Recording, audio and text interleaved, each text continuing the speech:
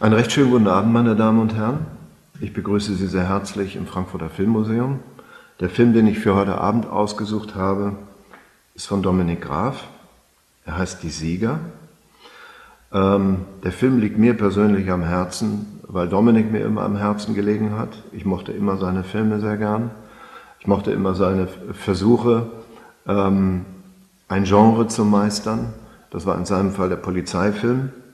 Bei Die Sieger kommt etwas anderes dazu, was mich ganz besonders fasziniert, dass er nicht nur die glamouröse Seite eine, eines SEK-Zuges äh, im Einsatz zeigen wollte und die, die Tiefen und Höhen ähm, dieser äh, Einsatzkräfte, sondern er hat auch die Abgründe des Verrats ähm, impliziert in diese Geschichte und auch die Spießigkeit der Beamten, die uns da als Helden erscheinen und sich ständig aus Hubschraubern abseilen und durchs Feuer gehen.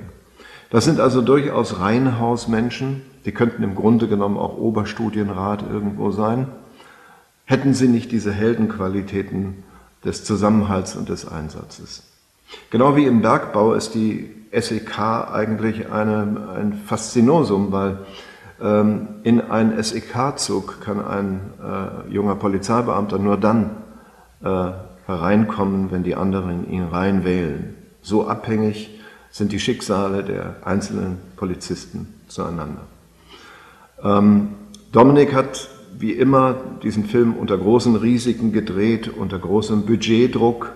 Ähm, ich habe ihn zufällig kennengelernt an dem Tag, wo ihm gerade anderthalb Millionen aus dem Budget gestrichen wurden und das war nicht sein bester Tag. Was ich aber ganz faszinierend finde, ist, dass unter all diesem Druck, in all diesen Krisen, immer etwas dabei rauskommt, was wie ein Riss in der Wand ist, wo man ähm, genauer hinschauen muss, ähm, um, zu, um zu erkennen, was ist die Geschichte hinter der Geschichte. Und das ist bei den Siegern ganz besonders schön. Ich wünsche Ihnen viel Spannung und gute Unterhaltung bei den Siegern von Dominik Graf.